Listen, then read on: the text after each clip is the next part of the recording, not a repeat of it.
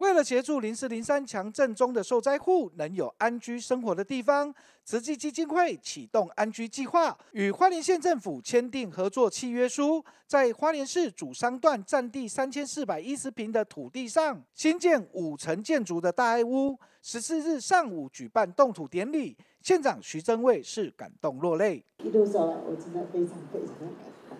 这一栋啊，就如同刚才的刚才的歌词啊。充满了善和爱，大家集合起来的善和爱盖出来的，有牵手牵连在护持着。很多事情难行，但是要克服，一定得行，而且要坚定的往前行。昨天晚上，花莲才下一点点雨，我们的树花从得到和仁段又封闭。昨天才主管，我会怕我们推出了这么多。一盆冷水又浇下，我该如何带着三十二万的乡亲活下去？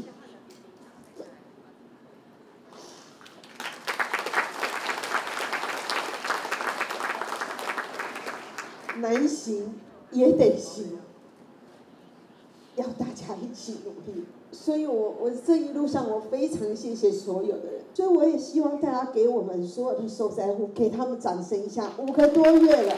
我相信还是很辛苦，但是很辛苦的同时，他们对于花莲县政府有非常非常多的包容。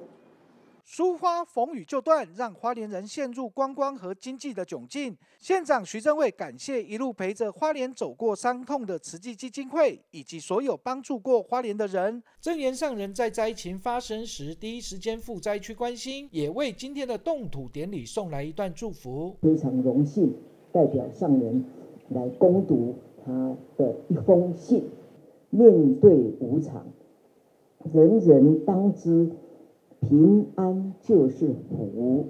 能够把握因缘，付出力量助人，就是有福之人。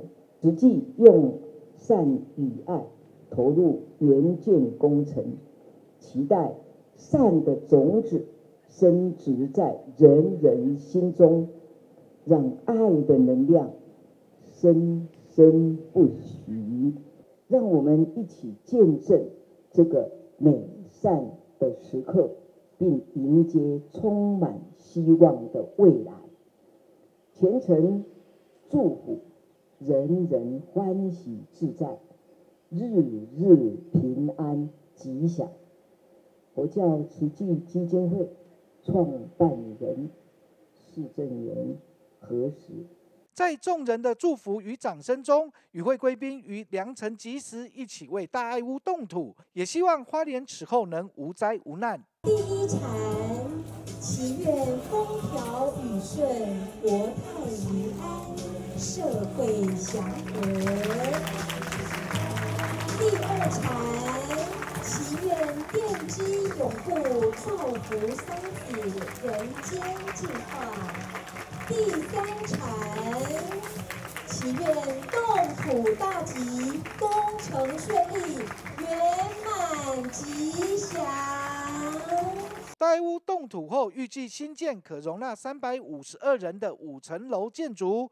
规划套房共一百一十二间，双人房三十二间，每户含公设约十六点八二平至二十九点五六平。社区内设置有社区中心、汽机车停车位、电梯等，同时兼具中继及永久安全性的社区功能。预计一年后可以完工，在为期三年的阶段性任务后即拨交县府作为社区住宅之用。花莲加油！